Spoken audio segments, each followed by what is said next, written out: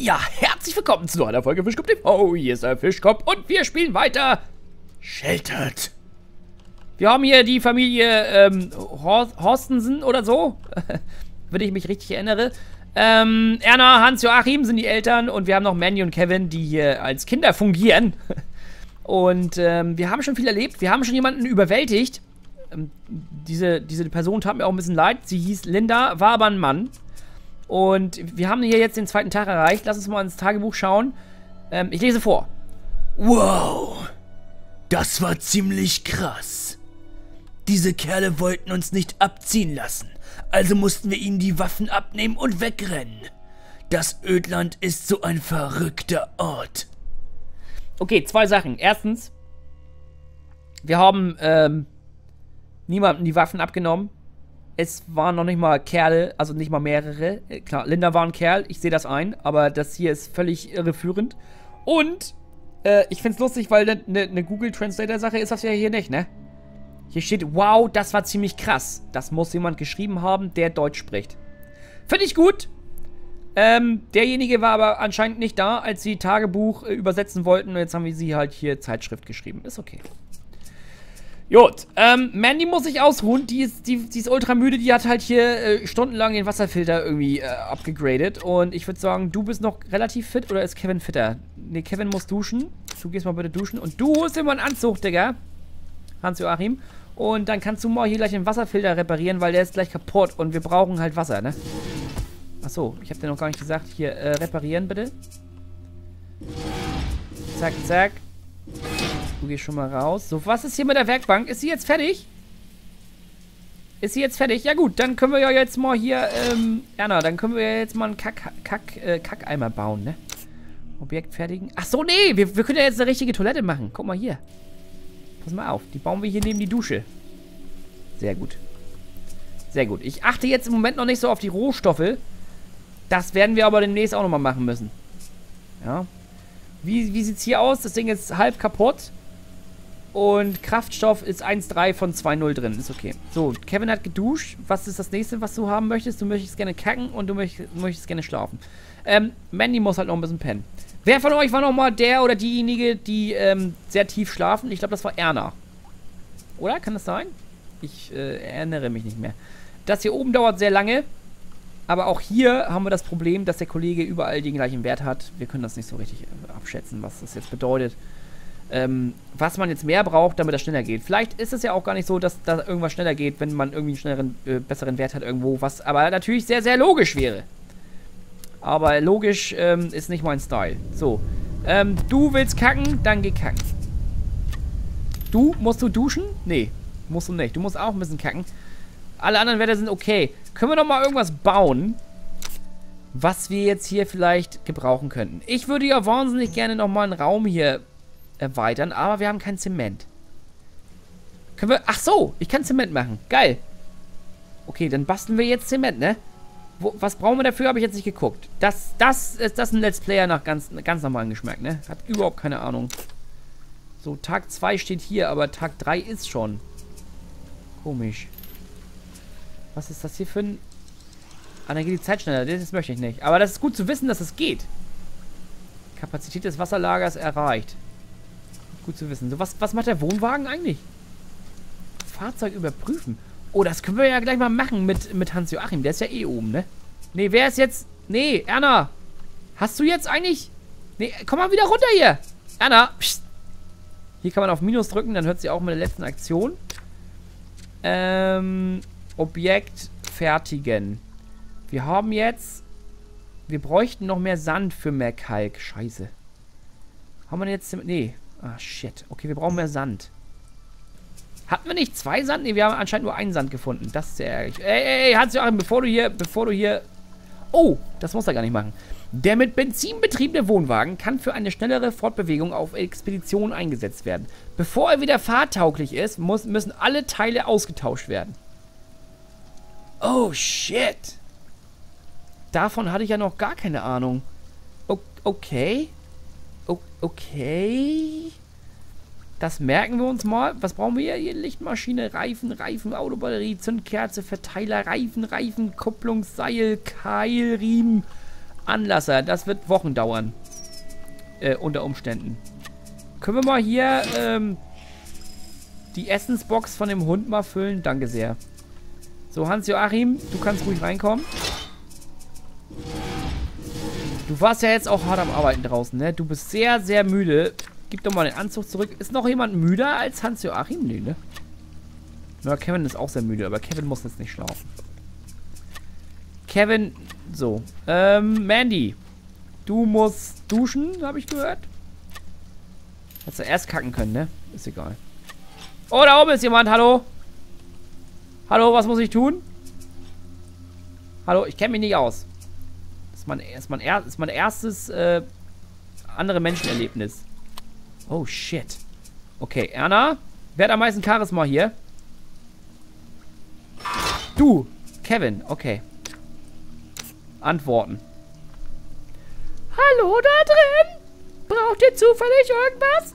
Ich habe viel Zeug gefunden, das ich nicht mehr gebrauchen kann. Äh, ja, ja. Meine Objekte sind das hier und das sind deren Objekte. Oh, Sand. Ich möchte gerne Sand haben. Ein Sand reicht mir erstmal. Ähm, dafür müsste ich auch nur eine Sache weggeben. Und wir, lass uns mal das Essen hier noch mitnehmen. Elf Sachen will sie jetzt dafür. Okay, was können wir ihr dafür geben? Kunststoff? Ich weiß nicht, wie dringend wir Kunststoff brauchen. Ich bin auch so ein bisschen am rausfinden, wie man hier was gebrauchen kann. Feuerzeug? Auch nicht schlecht. Wollen wir gleich mehr Sand mitnehmen für, für noch mehr Räume? Ja, ne? So, Anti-Strahlungstabletten.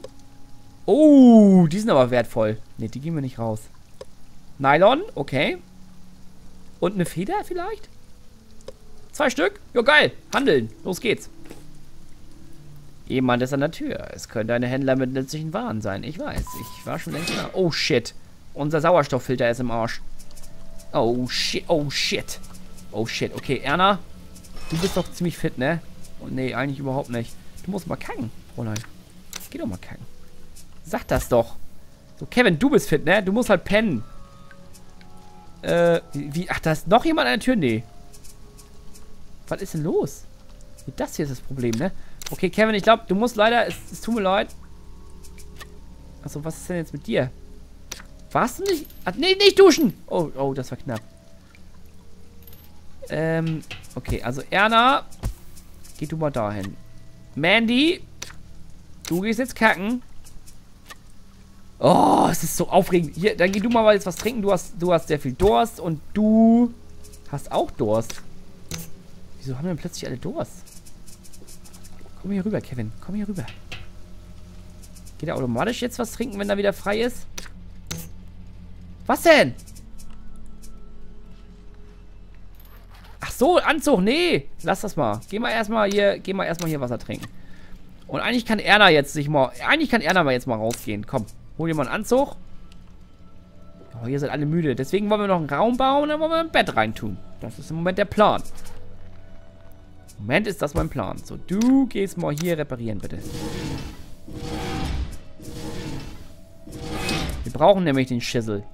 Und wir haben hier schon wieder was Neues drin. Tag 3. Ich lese vor. Unser Leben ist hart. Aber unser heutiger Besuch sagte, mit einem Buch kann man am besten entspannen.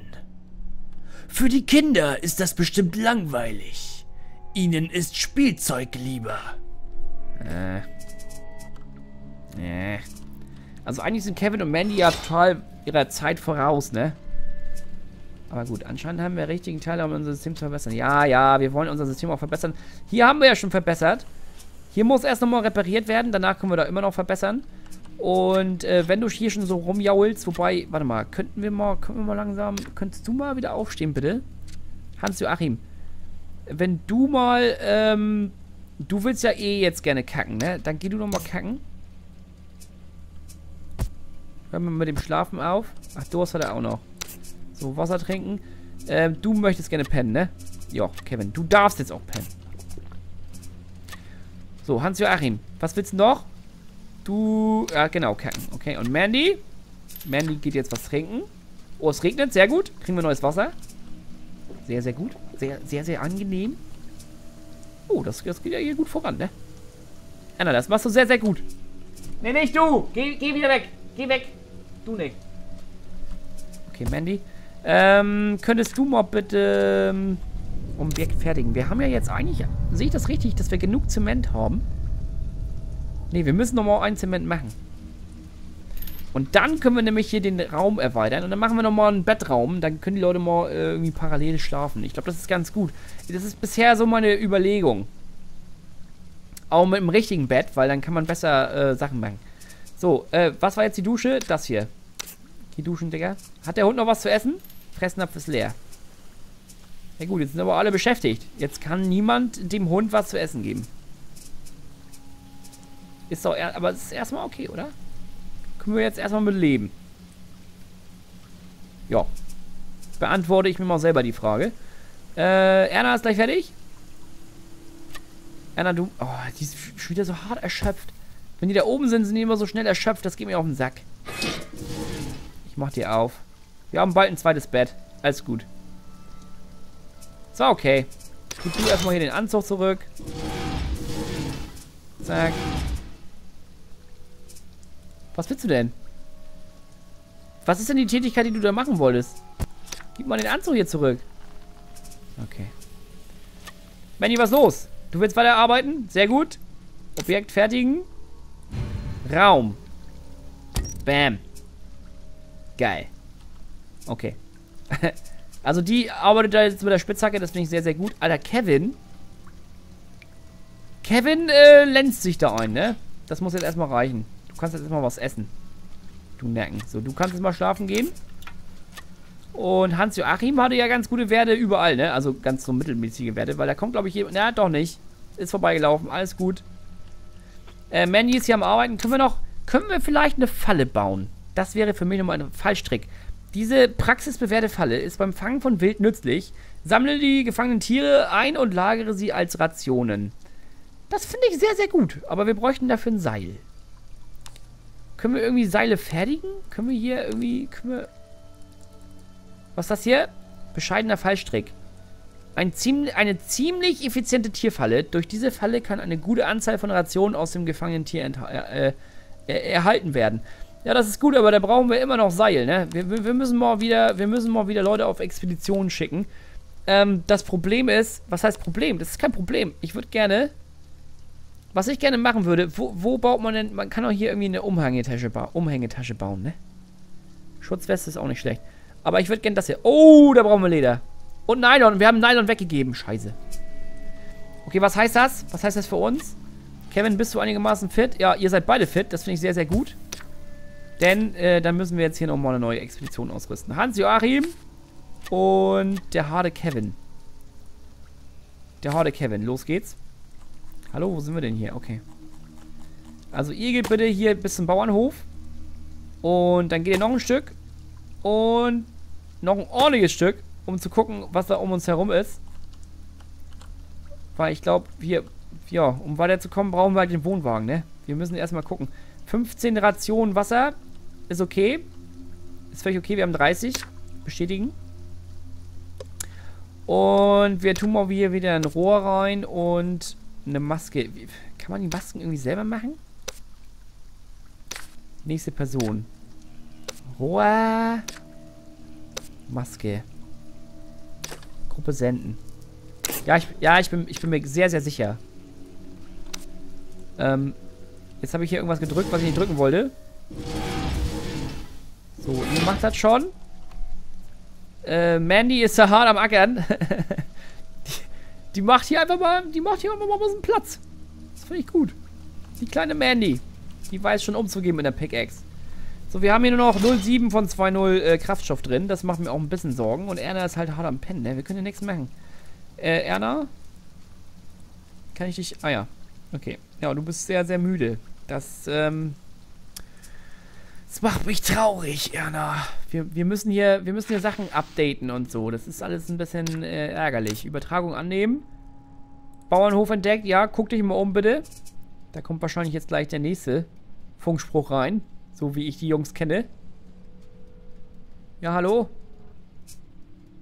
Was sagt der Geigerzähler? Alles gut. Was sagt die Zeitschrift? Immer noch Tag 4. Okay.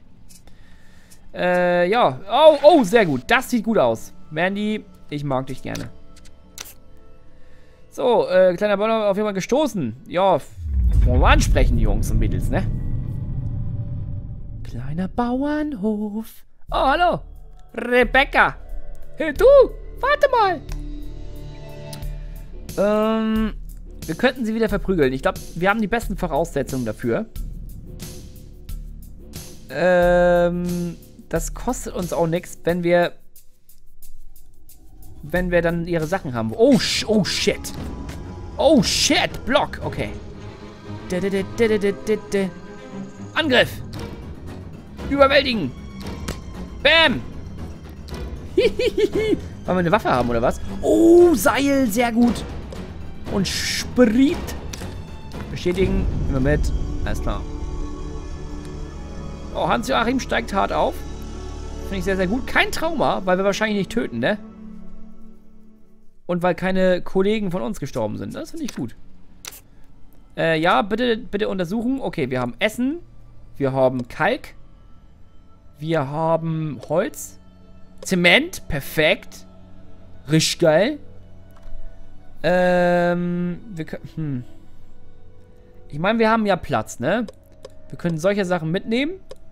Wir können sogar alles mitnehmen und dann immer noch Sachen ablegen falls wir noch viel nützlicheres Zeug finden sollten. Mandy ist sehr, sehr müde. Keine Angst, Mandy. Wir bauen hier gleich noch ein Bett rein. Wir bauen hier gleich noch ein Bett rein. Dekonstruieren kann man auch. Das ist sehr, sehr gut zu wissen.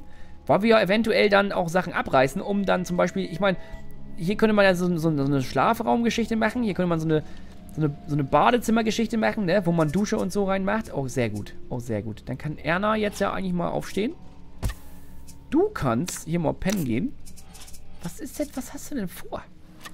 Genau, und du baust mal bitte, du baust mal bitte ein Bett. Da haben wir auch alles für, habt ihr gesehen, ne? Wollen wir noch mal gucken? Lass uns mal gucken, was wir da jetzt dafür brauchen. Objekt fertigen. Also, für ein Bett braucht man Federn, Wolle, Holz und Nägel. Nägel gehen uns langsam aus. Das äh, habe ich eben ein bisschen spät bemerkt. Lass uns mal hier so ein bisschen am Rand bauen dass wir eventuell hier noch was hinbauen können. Ne? Wir wollen ja Platz sparen. Es ist ja nun nicht sehr groß hier. Ne? So, danach kannst du auch was essen. Ist, für mich ist das total in Ordnung. Oh, solange hier Manny noch ein bisschen pennt. Ähm, und wir könnten auch noch mal dem Hund was zu essen geben eigentlich, ne? Sonst wäre der böse. Wäre der böse? Frisst er uns sonst auf? Das wäre lustig. okay, und wir müssen ja auch gleich mal nochmal auftanken, ne? Wobei, es geht eigentlich. Es ist, es ist noch alles im grünen Bereich. Es ist noch alles im sehr, sehr grünen Bereich. Anna lässt sich ein bisschen Zeit. Das ist total okay für mich. Wir können halt so lange nichts machen. Aber der Geigerzähler ist auf, auf unserer Seite. Kein Funkspruch von den Jungs. Ich, ich mache mir langsam Sorgen. So, Anna ist fertig. Dann einmal den Fressnapf füllen, bitte. Und dann würde ich mal Mandy hier kurz wecken. Und hier mal reinschicken glaube, dann ist sie schneller unterwegs. So. so, die Jungs sind wieder da. Sehr, sehr gut. Der Fressnapf ist gefüllt. Was willst du? Du willst was essen. Automatisierte Bewohner des Schutzraums kümmern sich selbst um ihre Bedürfnisse bezüglich Hunger, Durst, Toilette, Müdigkeit und Hygiene. Ja. Ähm, wissen wir ja schon. Aber bis jetzt will ich davon noch nicht Gebrauch nehmen haben. Okay, also wir haben noch einen Nagel, sehr gut. Mehr Gaffer. Gaffer ist sehr, sehr wichtig. Wir haben Zement. Wir könnten noch einen Raum, glaube ich, mal langsam... Dein Wassertank ist voll und kann kein Wasser mehr aufnehmen. Leute, ganz toll hier. Kann ich nicht da rein tun? Ich hasse euch. Wassertank ist voll. Okay. Ähm, wir bestätigen. Und finden das erstmal gut. So, oh Gott, das ist ja... Es geht ja gar, überhaupt nicht viel schneller hier.